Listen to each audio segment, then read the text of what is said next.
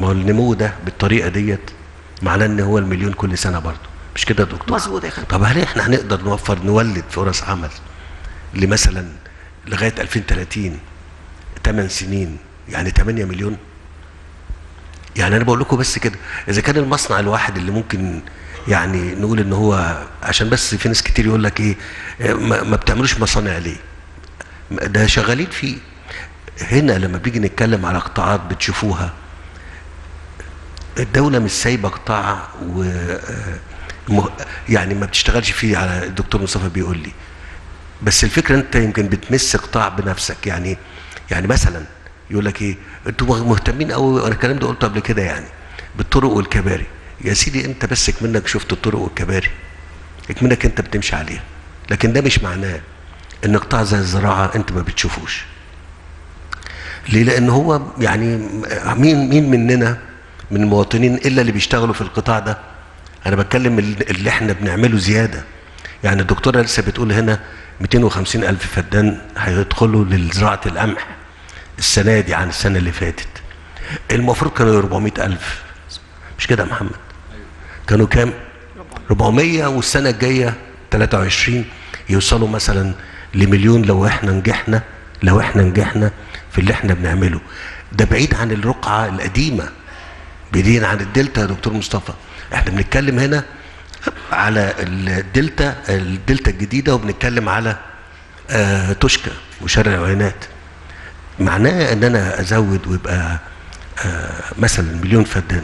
معناها في زرعة واحدة هدخل آه من اتنين ونص ل 3 مليون طن حسب قدرتنا في في الزراعة. فأنا عايز أقول إيه؟ إن في القطاعات المختلفة الدولة شغالة فيها كلها مش غفل يعني لا تخفى القطاع.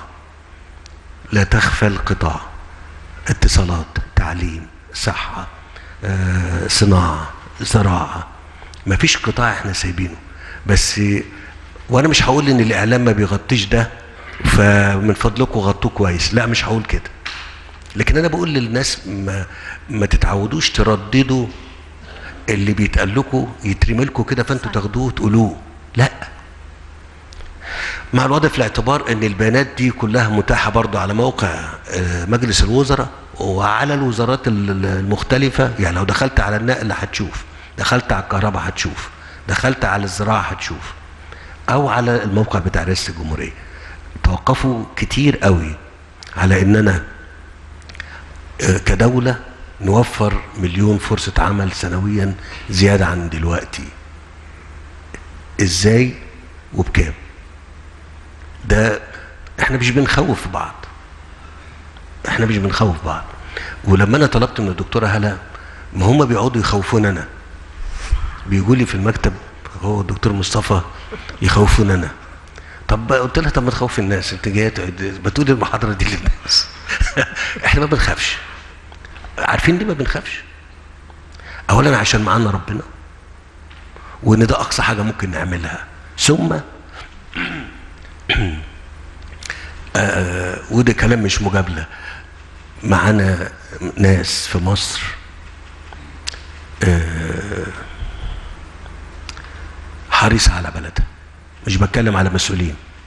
كل إنسان في مصر مسؤول.